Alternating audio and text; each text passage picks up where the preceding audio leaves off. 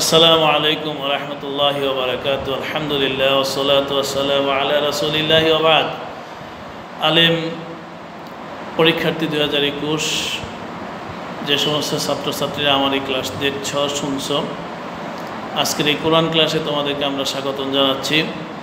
সুরা মায়দার নব্বই, একানব্বই, বিরানব্বই নম্বর আয়তের আলোকে ইতিপূর্বে আমরা কয়েকটি ক্লাস নিয়েছি। সেখানে বিস্তারিত কথা বলেছি। আজকে আরও বিস্তারিত কথা বলার জন্য তোমাদের সামনে হাজির হয়েছি। অন্য অন্য ক্লাসের মতোই আজকের ক্লাসটিও তোমাদের পরীক্ষার জন্য খুবই গুরুত্বপূর্ণ। আল্লাহ রাবুল আলমিন মানুষকে রোগ দিয়েছেন, রোগের ওষুধ আল্লাহ দিয়েছেন। মানুষ রোগ অনুযায়ী আল্লাহর দেয়া নেয়ামত থেকে ঔষধ গ্রহণ করবে, সুস্থ হবে, এটা স্বাভাবিক বিষয়। আল্লাহ রাসুল বলছেন যে ফাক তানিম খামসান এক তানিম খামসান কাবলা খামসিন, সেহাতাকা কাবলা মারাদাকা। যে পাঁচটা জিনিসকে পাঁচটা বিষয়ের আগে গুরুত্ব দেয় এর মধ্যে প্রথম হলো সুস্থতাকে তুমি গণিমত মনে করো, অসুস্থতা পরিণত হওয়ার আগে অসুস্থতায় পেয়ে যাওয়ার আগে। এই হিসাবে সুস্থতা একটা বড় জিনিস। এখন প্রশ্ন হলো যে, প্রশ্ন হলো এটা যে, হাল ইয়াজুজুল ইন্তেফাউ মিনাল খামরে ফিত্তা দাওয়া আমাল ইখতলাফ ফিহি বাইয়িন যে হারাম জিনিসের দ্বারা, হারাম জিনিসের মাধ্যমে চিকিৎসা করানো বা কোনো ফায়দা নেওয়া জায়েজ হবে কি হবে না, এটা একটা বড় প্রশ্ন। অমাল এখতলাফ ফিহি, এবং এক্ষেত্রে এখতলাফটা কি আছে? প্রিয় শিক্ষার্থীরা, এক্ষেত্রে আমাদের ইমামগণ, ইসলামিক স্কলারগণ যারা রয়েছেন, তারা সুস্পষ্টভাবেই বিভক্ত হয়ে পড়েছেন মতামত দানের ক্ষেত্রে। একটা গ্রুপ বলেছেন যে হারাম তো হারামই। যদি হারাম হয়, এর মধ্যে কোনো কল্যাণ নেই, এর দিয়ে কোনো উপকারিতা নেওয়া যাবে না। যদি উপকারিতা নেওয়া যেত, তাহলে আল্লাহ হারাম ঘোষণা করতেন। আরেক পক্ষ বলছেন যে হ্যাঁ যদি এমনটা হয় যে এছাড়া আর কোনো বিকল্প নেই অপশন নেই অল্টারনেট নেই, তাহলে এর থেকে ফায়দা নেওয়া যেতে পারে।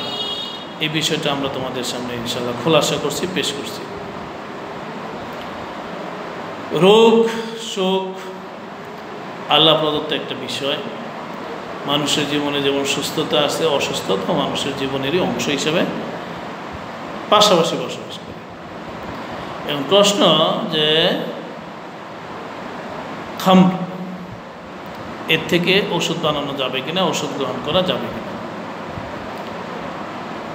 আমাদের ইমাম ত্রয়, ইমাম তাহাবি, ইমাম হাকি রাহিমা আল্লাহ আলাইহিম, তারা অভিমত দিয়েছেন যে ইমাম আবু হানিফা, শাফি, আহমদ, আবু জাফর আত্মাহাবি এবং বাইহাকি প্রত্যেকে বলেছেন, কোনো অবস্থাতে, কোনো অবস্থাতেই মদকে ওষুধ হিসেবে ব্যবহার করা যাবে না, ব্যবহার করার কোনো বৈধতা নেই।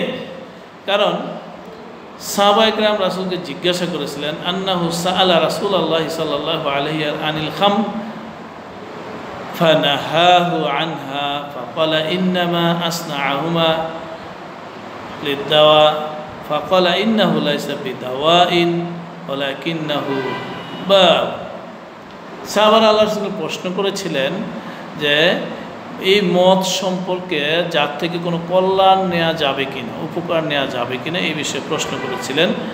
আল্লাহ রসুল তখন নিষেধ করেছিলেন, নিষেধ করলে সাহাবারা বলেছিলেন, ইন্নামা আসনা আউহাল দাওয়া আমি এটা ওষুধ হিসেবে তৈরি করি, এই মদ থেকে আমি ওষুধ তৈরি করি, এটা যায় কিনা। রাসুল বললেন ইন্নাহুল্লা হিসাবে দাওয়া এই মদের মধ্যে কোনো ওষুধের গুণ গুণ নেই, কোনো ঔষধের উপাদান নেই, ঔষধের কোনো কার্যকারিতা নেই। বলা কিন্নাহু দাউন বরং মদই একটা অসুখ মদই একটা অসুখ কি চমৎকার বর্ণনা আল্লাহ রসুল وقال النبي صلى الله عليه وسلم إن الله لا يجعل شفاء أمتي فيما حرم عليها যে আল্লাহ রাব্বুল আলমিন হারাম কোনো বস্তুর মাঝে আমার উম্মতের কোনো দাওয়া রাখেননি উম্মত এর দ্বারা কল্যাণ লাভ করতে পারবে না। এটা একটা বিষয় আমরা আজকে নিশ্চিতই দেখলাম। প্রিয় শিক্ষার্থীরা, তাহলে এই মতে আমরা বুঝলাম যে মদ হারাম হারাম হওয়ার কারণে এই মদ থেকে কোনো ঔষধ, কোনো কিছু করার কোনো অবস্থাতেই যায় না একবারেই নিষিদ্ধ। দ্বিতীয়ত আরেকটা বিষয় আমরা জানতে পারি যে ইমাম মালিক আবু আবু ইউসুফ রাহেমউল্লাহ তারা বলছেন যে যদিও মদ হালাল না যদি হালাল ওষুধ নাই পায়, এবং এর মধ্যেই কেবল একমাত্র আরোগ্যতা নিহিত রয়েছে বলে নিশ্চিত হওয়া যায়, তাহলে যতটুকুন খাইলে বা সেবন করলে সে সুস্থ হবে বলে হাকিম মনে করবেন, ততটুকুন দেয়া যাবে, বৈধতা আছে, এর বেশি না। তার আয়াতের আয়াত দলিল হিসাবে পেশ করেছেন মামানি তুর্রাফি মাহমাসাতিন গায়রা মুতাজানিফিল ইসমি। যে এই আয়াত তারা পেশ করেছেন। যে গায়রা ফিল্লি ইসম।